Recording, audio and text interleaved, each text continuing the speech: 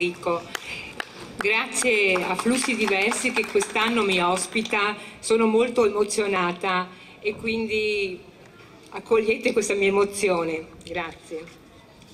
Leggerò eh, due poesie sulla luce perché eh, l'elemento luce è, è, qualcosa che mi appartiene, essendo appunto vissuta eh, per lungo tempo in una città di lago e vivendo a Padova il lago mi manca moltissimo. E due poesie invece su, eh, sulla, mh, mm, sul momento, sulla impossibilità di dare durata agli eventi, alle cose, alle persone. Un biancore lontano, un biancore lontano di nuvole regge tutto l'azzurro, profondo, allo zenit del giorno, dove la luce che ci ama ci fa affini e il lieve passare dell'aria e lo schiarire dell'ombra.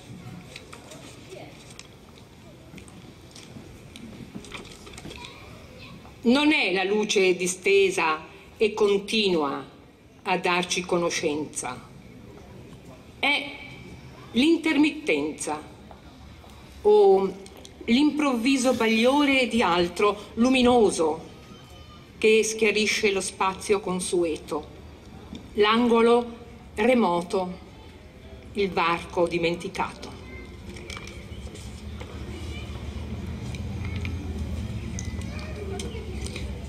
Tutto si consuma nell'autunno, tutto si consuma nell'autunno, pure quest'alba che disincarna il mattino devoto al richiamo dei tigli nel frammento di brina.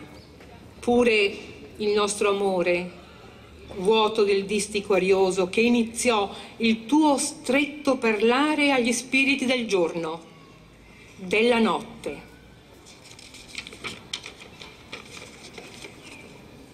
L'apparenza del vero svagato non erano le somiglianze tue a sorprendermi nel tempo stretto